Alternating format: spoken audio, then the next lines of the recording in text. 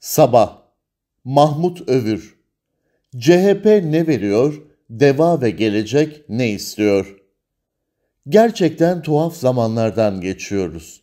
Mesele dünyadaki tuhaflıklar değil, Türkiye siyasetindeki tuhaflıklar.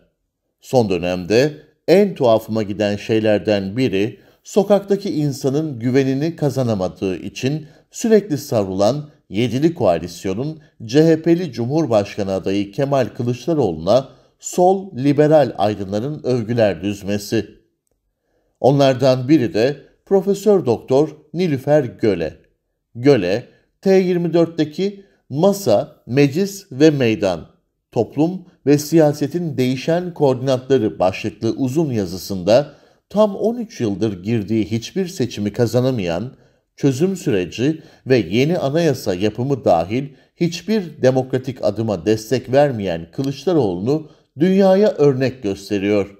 Kılıçdaroğlu'nun siyasal iletişim ve liderlik performansının bugün sadece Türkiye'de değil, dünyanın birçok ülkesinde popülist lider hegemonyasına ve temsili demokrasinin girdiği krize karşı yeni bir alternatif sunmakta olduğunu söyleyebiliriz. Kendi sosyolojisini bile ikna edemeyen Kılıçdaroğlu'nun yaptığı siyaset mühendisliğinin böyle bir sonuca yol açması tuhaf değil mi? Yedili masadaki tuhaflıklar. İyi Parti'nin masayı dağıtıp sonra tıpış tıpış geri dönmesi o partiyi nasıl sarstıysa şimdi de milletvekili listeleri kavgası masanın diğer partilerini sarsıyor. Saadet Partisi ve Demokrat Parti'yi bir yana bırakırsak en büyük sarsıntı da AK Parti'yi tırtıklamak için kurulan Deva ve Gelecek Partisi ile CHP arasında yaşanıyor. Hiçbiri sokakta gerçek bir varlık gösteremediği için ne tek başlarına seçime girebiliyorlar ne de ittifak içinde bir ittifak yapabildiler. Oysa bir yıl önce Ali Babacan da Ahmet Davutoğlu da iddialı biçimde kendi logomuzla seçimlere gireceğiz diyorlardı. Daha ilginci henüz Kılıçdaroğlu Cumhurbaşkanı adayı ilan edilmediği günlerde piyasaya Deva ve Gelecek partilerine CHP listesinden grup kuracakları 20'şer kadro verileceğinin söylenmesiydi. Davutoğlu 8 kişi de diretiyor. CHP kulisleri ayağa kalkınca ve adaylık da netleşince işin rengi değişmeye başladı. Sanki o sözler hiç verilmemiş gibi 3-4 kişiden söz edildi. Sonuç böyle mi olur yoksa Davutoğlu'nun en az 8 olmalı dediği gibi biraz yükseltilir mi bilemem.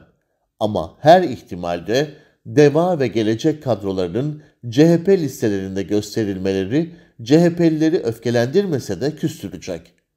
İstanbul'dan bir CHP milletvekili aday adayı şöyle diyor.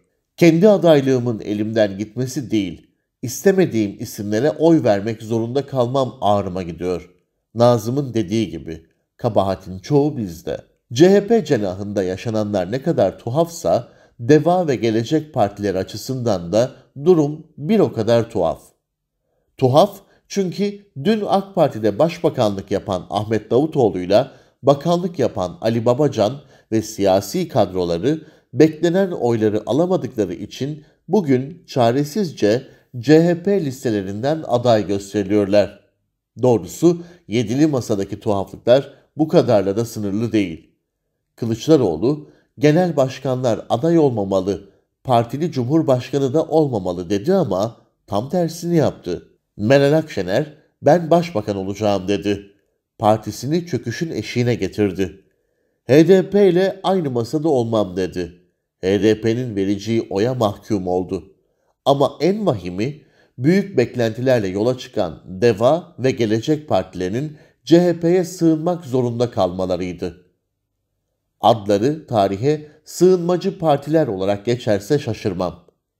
Türkiye'yi ve siyaseti doğru okumayan bu kadroları zoraki bir araya getiren siyaset mühendisi mi dünyaya örnek olacak?